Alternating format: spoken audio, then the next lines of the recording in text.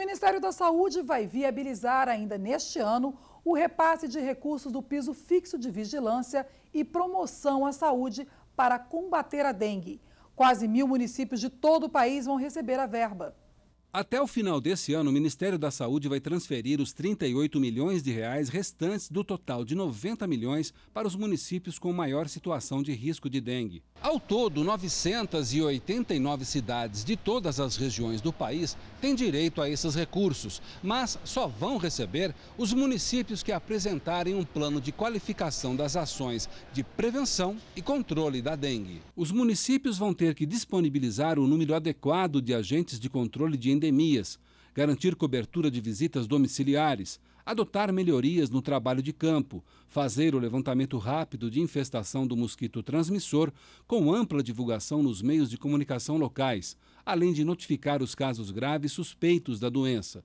Em pleno período de festas de fim de ano e férias, as atenções no combate ao mosquito Aedes aegypti devem ser redobradas. É que muita gente aproveita para viajar. Antes de cair na estrada, é recomendável verificar se não ficou nada em casa que possa acumular água. Não deixa nada, vaso, nada, essas coisas com água, essas coisas, tira tudo. Tem uma plantinha, mas não tem o, o pratinho para pôr areia. Molhou lá, secou, acabou. No Distrito Federal, os agentes de vigilância ambiental percorrem vários logradouros públicos e já encontraram larvas do mosquito transmissor da dengue.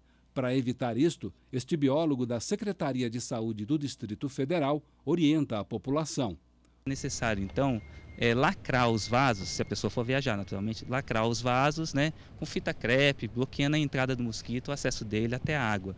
Ah, se houver plantas também né, dentro de casa, ter aquele cuidado de, acrescentar areia né, nos pratos até em cima, de maneira que não forme nenhuma lâmina de água. Né. Os ralos dos banheiros também é necessário lacrá-los. Na parte externa sempre é bom, então também é verificar se a calha está entupida ou desnivelada, acumulando água.